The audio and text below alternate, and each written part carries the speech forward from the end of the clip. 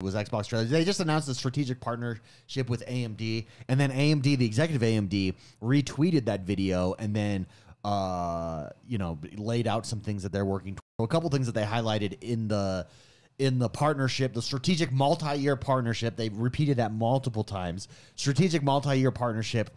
Uh, a few things that they really highlighted. Number one, graphical fidelity, like a, a jump in graphical fidelity really interesting that they said that specifically. They also then talked about AI integration in gaming in the next generation of console, cloud gaming, obviously a big one. But then, and I think this is where AMD is key. They really hit on backwards compatibility. All of your games, you know, that you are currently playing will be available. That's something that we're constantly working on and is going to be there for the future. Uh, it's going to be interesting to see what it does.